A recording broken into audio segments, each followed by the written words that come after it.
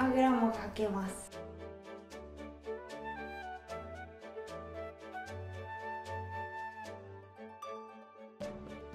こんにちは。今回は我が家にある4種類の椅子を紹介します。まず1つ目はワークスペースにある Y チェアです。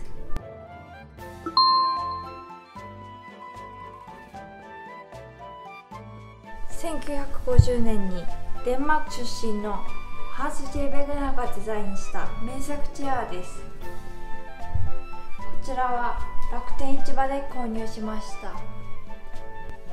座面のペーパーコードが固めと聞いていたので専用のクッションも一緒に購入しましたがペーパーコードの座面は程よい硬さで長時間座っていても疲れないです。むしろ私は包み込まれるような柔らかさを感じます。行儀は悪いですがこの上であぐらもかけます。体育座りあぐらもかけます。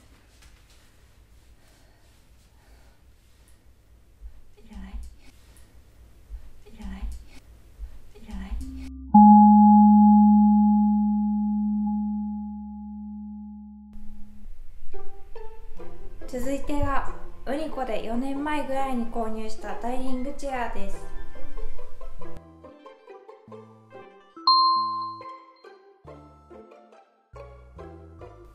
座りやすくて扱いやすくて気に入っています。こちらでも体育座りもできますしあぐらもかけちゃいます。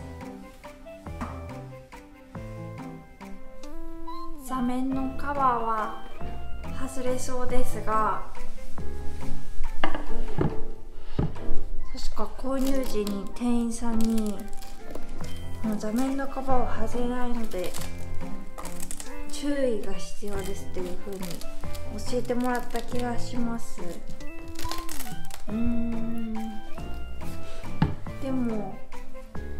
こここうこういう構造のネジを外したら外れそうですけどねどうなんだろ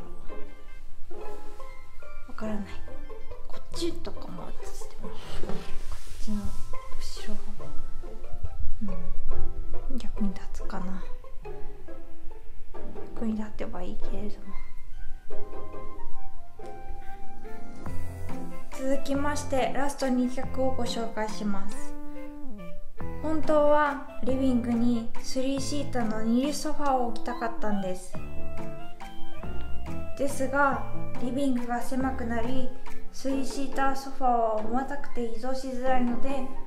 夫と私のそれぞれが好きな椅子を選ぶことにしました。まず夫の椅子をご紹介します。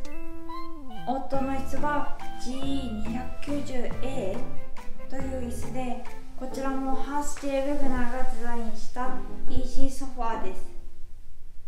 こちらはヴィンテージ品らしいです。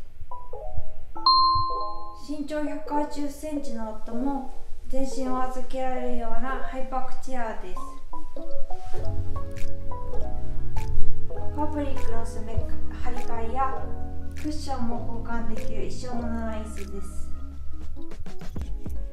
私の椅子は天童木工さんのマルガリータという商品です。楽天市場でも買えますが実物を見てみたくてわざわざ駅からタクシーに乗って取扱店舗に行きこちらで購入しました。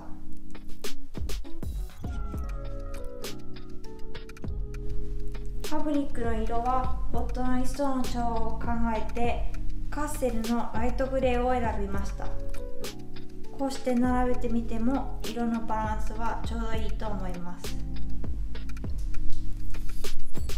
またマルガリータソファーのいいところは 7.8kg だとソファーにしては軽量だということです。お掃除する時に移動しやすいしオリンピック期間中は夕食を食べながら応援していたのでこんな変則的なフォーメーションでしたがそんな時もマルガリータは簡単に移動できました。マルガリータにはもっと座面が低いロータイプもありますが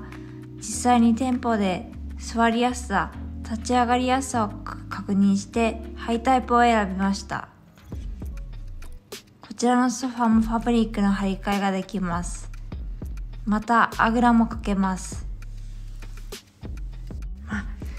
一応あの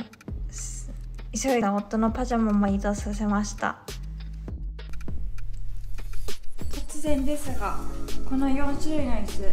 どれが一番高いと思いますか？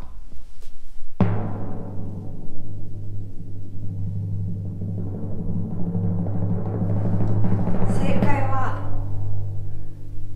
3つ目の夫の椅子です。これ本当に高くって私のマルガリータちゃんの3倍以上の値段でした。夫は仮想通貨を売って予算オーバーした分を補填してくれると約束してくれましたがいつになるやらっていう感じです。以上我が家の椅子のご紹介でした。私の持つ難病は言葉も発音しづらくなってくるので聞き取りづらいところもあったと思いますが私の思い出のためまた気軽に見ていただけるかなと思ったのでアフレコに挑戦してみました。こんなアフレコで良かったという方はコメントまたはグッドボタンで教えてください。少しでも役に立てたら嬉しいです。それではありがとうございました。